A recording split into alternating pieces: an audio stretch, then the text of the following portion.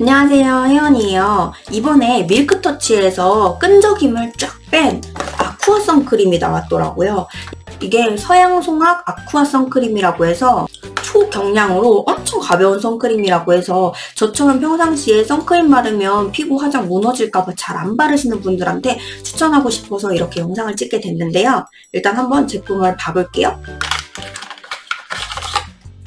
짜잔 제품 같은 경우는 이렇게 심플하게 되어 있는데 수분 세럼이 83%나 채워져 있어서 엄청 촉촉하고 가볍다고 해요. 그리고 제가 이 제품 설명서 뒤에를 보니까 여기 보면은 UVA랑 UVB 둘 다 강력 차단해서 피부를 보호해주기도 하고 끈적이감 없이 산뜻하게 밀착시켜주는 게 이 제품의 포인트라고 보시면 되거든요. 그래서 제가 이제 아까 말씀드렸듯이 저처럼 선크림 같은 거 덧바르면 피부 화장이 계속 들뜨는 사람들한테 추천을 드린다고 했잖아요.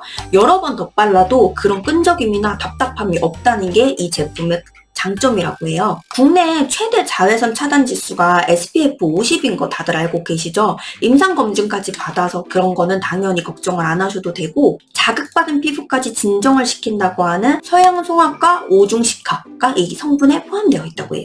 그 오중식화 성분이 피부에 의한 자극들을 진정시켜주기 때문에 이 선크림을 발랐는데도 피부가 진정된다는 게 무슨 느낌인지는 한번 써보시면 아실 거예요. 보통 제품 같은 경우에는 메이크업 전이나 스킨케어 후에 사용을 하시면 되고 제가 한번 손등에다가 발라보면서 어떠한 제형인지 보여드릴게요.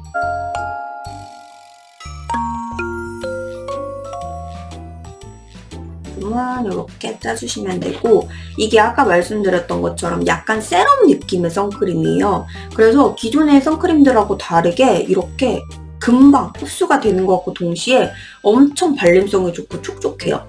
그래서 진짜 들뜸이 하나도 없어요. 그래서 약간 메이크업 전에 나는 피부 화장이 잘 뭉친다. 그래서 뭔가 써야 된다. primer 같은 거. 그런 거 쓰시는 분들한테 추천드리고 저도 요즘에 이것 때문에 선크림 말고 sun serum들 위주로 사용을 하고 있거든요. 근데 얘는 선크림인데도 불구하고 거의 세럼 느낌이어가지고 사용하는데 전혀 불편함이 없을 것 같아요.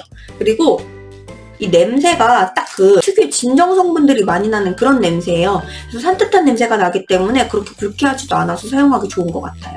그래서 제가 메이크업 전에 사용을 해보고 메이크업 후에 사용하는 모습이랑 해서 얼마나 들뜸이 없는지 한번 보여드리도록 할게요.